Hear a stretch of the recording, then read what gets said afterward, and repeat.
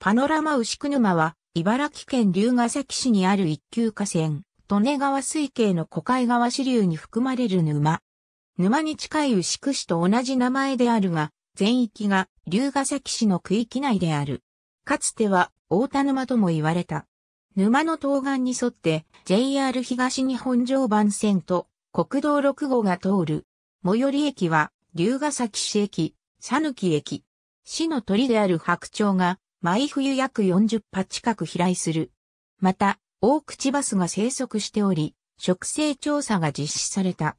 うな丼うな丼は、牛久沼が発祥の地と言われており、国道6号沿いをはじめとした牛久沼付近には、現在でもうなぎ料理店が多く、うなぎ街道として人気が高い。金龍寺には、牛になった消防図という昔話が伝わり、牛久沼の名称はこの伝説によるとも言われる。金龍寺のある怠け者の消防図は、毎日の権行を怠って、ゴロゴロ寝てばかり。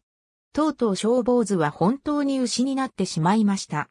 初めて恥を知った消防図は沼に受水しようと決心して岸へ向かいました。しかし寺の住職は消防図に同情し、受水を止めようとして水の中に入る牛の尻尾を握り引き戻そうとしました。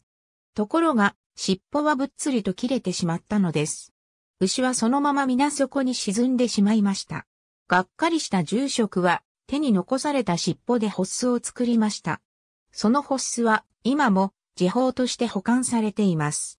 また、牛久沼には昔からカッパ伝説の伝説があり、牛久沼沿いの遊歩道は牛久沼カッパの小系と命名された。ありがとうございます。